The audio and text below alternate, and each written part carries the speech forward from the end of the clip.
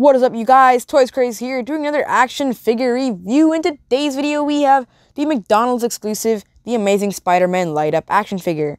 If you guys do want to get this figure, you can do so in the link below. But anyways, let's get right into it. A close-up look at it.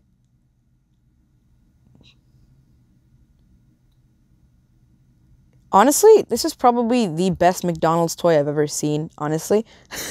like, usually you can tell they don't make it great quality, but like it, it, look definitely looks nice. I'm yeah, but basically what it would do is if you uh tapped and hold this button, basically you hold it and the eyes would light up. But my bad I've got I got these a long time ago.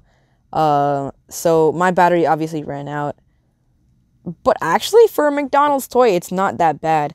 Like you can see like the detail. Like they didn't put they it wasn't actually that bad, not gonna lie and it does look pretty awesome. And probably the this is probably the only Amazing Spider-Man action figure or Andrew Garfield action figure I really have. And honestly, I'm planning on getting more uh, soon. But for now, this is what I'm stuck with. So not bad, definitely.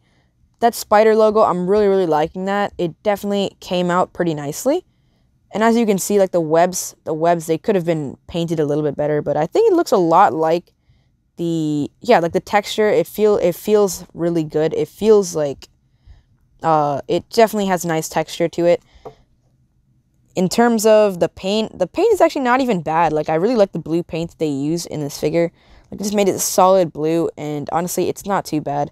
Articulation wise the arms can move all around and i think that's pretty much it. The head can't move at all. It's literally glued onto the body. The knees can't move or anything uh, the feet can't move or anything, or uh, the hips can't move, the torso can't move. Basically, the only part that you can actually move for this figure is, or with this figure, is the arms. So you can only move them like up, all around, or down. So that's basically, that's basically, it's pretty basic. Uh, sadly, I kind of think this had a lot of potential, but it's probably, I mean, it's a McDonald's toy. Obviously, it's not going to be the most high quality but it's actually not too bad. Like, I surprisingly, this isn't as bad as I thought it would be. Let's just take a side by side comparison of the Amazing Spider Man to the Amazing Spider Man in the movie. So, I mean, the likeness, it kind of does look. I mean, the eyes, they made it a little bit big, though, and they could have painted it a little bit better. But, anyways, I think they could have done a little bit better on the suit.